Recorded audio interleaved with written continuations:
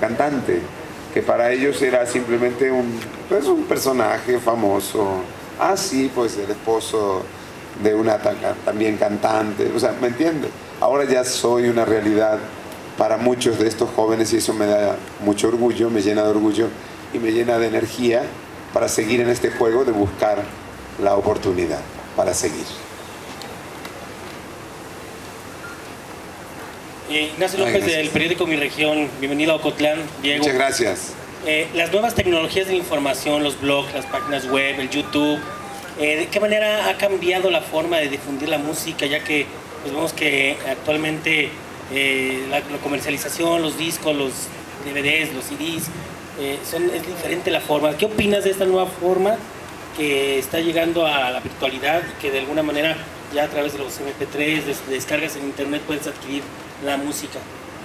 Mira, uno siempre tiene que tener la habilidad de adaptarse a las circunstancias de la vida y cuando hay algo que no nos funciona tenemos que tener también la habilidad de cambiarlo, de mejorarlo. Como individuos todos tenemos esa responsabilidad. Y yo confío en que esta nueva tecnología que va a seguir creciendo y se transforma permanentemente, diariamente, siempre va a lograr que la música finalmente llegue a quien quiera tenerla, a quien quiera escucharla.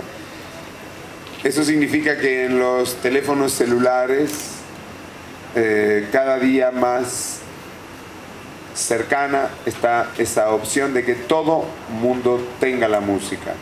El punto que todavía está por resolverse es que nosotros que hacemos la música como productores, cantantes y compositores tengamos el beneficio que nos merecemos como, como tal, ¿no? como creadores de esa realidad.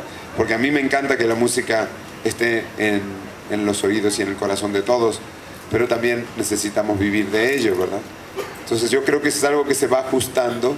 Yo creo en esta nueva tecnología, creo que ha sido muy beneficiosa. A mí particularmente me ha ayudado mucho He tenido más de 200 millones de visitantes entre mi canal de videos que es diegoverdaguer.tv y, y mi página que es diegoverdaguer.com en lo que va de la vida de mi página.